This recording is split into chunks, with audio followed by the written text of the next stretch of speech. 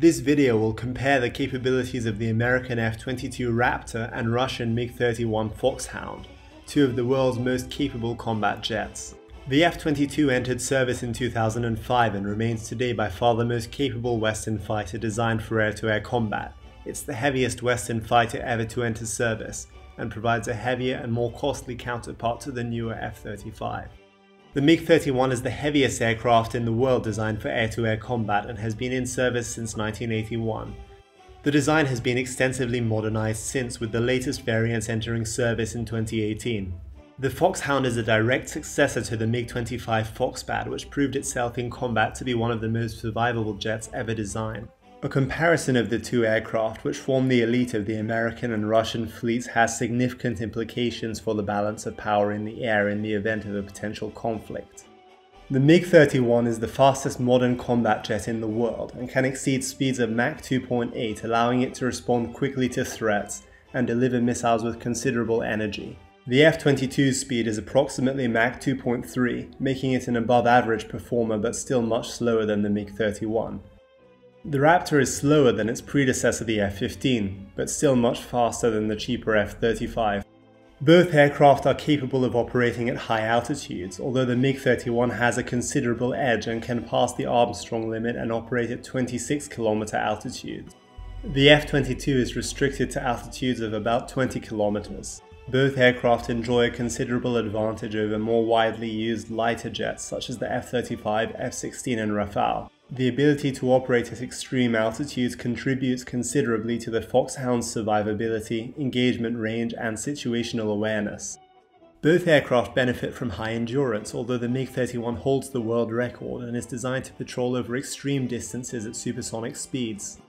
The F-22 was designed to penetrate deep behind Eastern European lines, but ultimately wasn't designed to patrol an area as vast as the Soviet Union.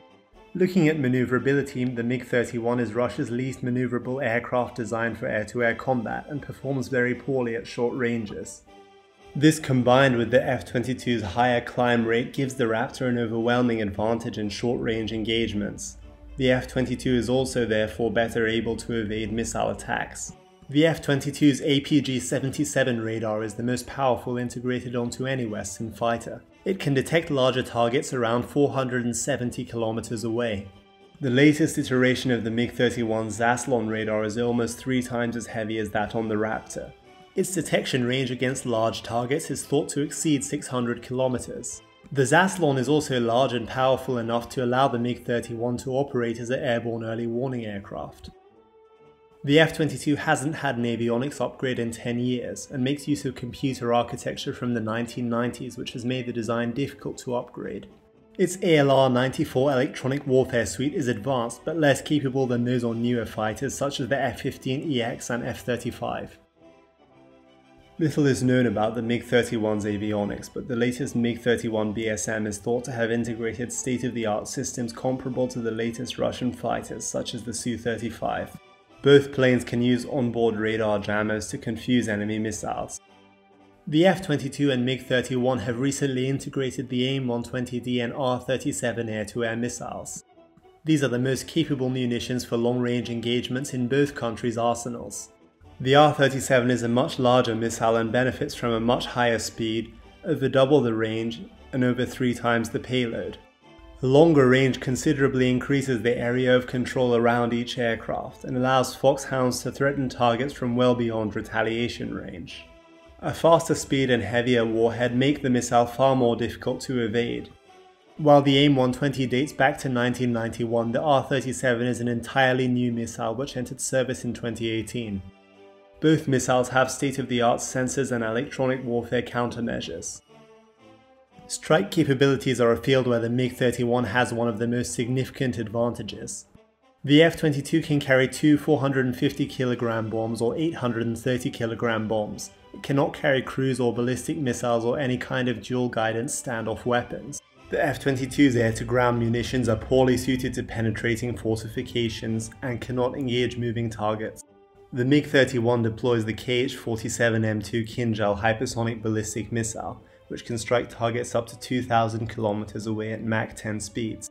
The missile's high speed and maneuverability make it effectively impossible to intercept, while its range allows foxhounds to engage targets from well out of harm's way. The Kinzhal is also highly capable as a ship hunter and nuclear delivery vehicle. Unlike the F-22, the MiG-31 can also be equipped with anti-satellite weapons, making use of its high speed and altitude for optimal launches. This is one of the primary roles for which the Foxhound was originally designed. The range and capabilities of their highly secretive anti-satellite missiles are unknown, but they have been under development since the 1980s. This highly valued capability contributes to the MiG-31's versatility and allows it to blind adversaries in a war's early stages. Combat jets rarely go head to head alone, they operate as part of larger networks. Thus, the optimal combat jet will be able to engage a wide range of high value targets effectively. The F-22 is only really well optimized to engage enemy fighters. Its engagement range is far too short to seriously threaten bombers, AWACS or other support aircraft. Its air-to-ground capabilities are extremely limited. Where the Raptor can threaten only a limited range of targets, the MiG-31 is one of the most versatile jets in the world. The Kinzhal missile in particular optimizes the Foxhound to neutralize a wide range of key targets in a war's opening hours. Some of these include airfields, Patriot and THAAD missile batteries, fortified command centers, and early warning radars. The fact that the missile is almost impossible to shoot down, combined with its precision, makes it extremely valuable. Other than dedicated bombers such as the B-2 and Tu-160, the Kinzhal missile makes the MiG-31 Foxhound by far the best strike platform in the world. The missile's ability to deploy nuclear warheads also makes the MiG-31 a viable nuclear delivery platform. The F-22 cannot deploy nuclear warheads. Looking at air-to-air -air capabilities, the F-22 has the advantage of being difficult to track at long ranges. The MiG-31 can't target the Raptor at these ranges, but it can wreak havoc on American positions, taking out critical assets such as supporting F-15 fighters, early warning aircraft, tankers, transports and bombers, with its powerful R-37 missiles. Foxhound's anti-satellite weapons can also blind American air power before air-to-air -air engagements even begin. The F-22 can provide no similar contribution to neutralizing Russian support platforms. Taking out satellites would affect all fields from communications to targeting and surveillance. At closer ranges, the F-22 would likely detect the MiG-31 long before it is itself detected. Whether the MiG will be able to detect the Raptor before it's in range to use its AIM-120 missiles depends on a number of factors mainly on how many Foxhounds are sharing data and whether they have support from ground-based radars or AWACS.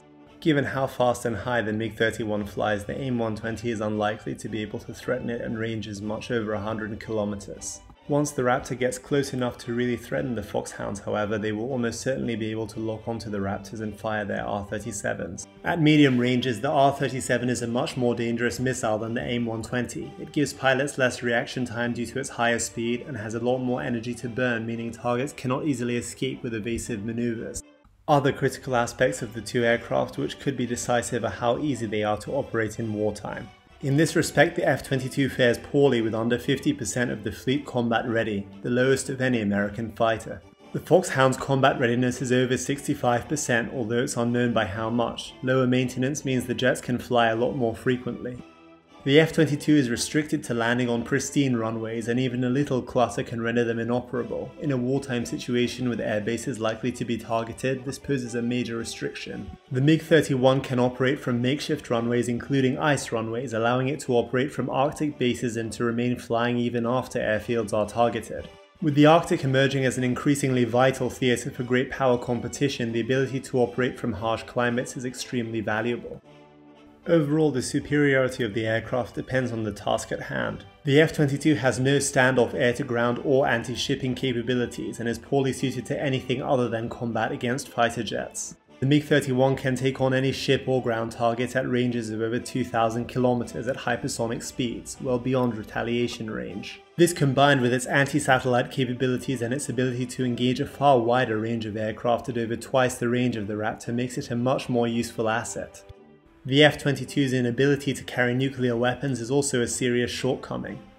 The Raptor is very good at what it does, engaging enemy fighters in air-to-air -air combat, but it is quite impotent in all other roles. We hope you enjoyed this video. For more content like this, subscribe and let us know in the comments below what you would like us to cover in future.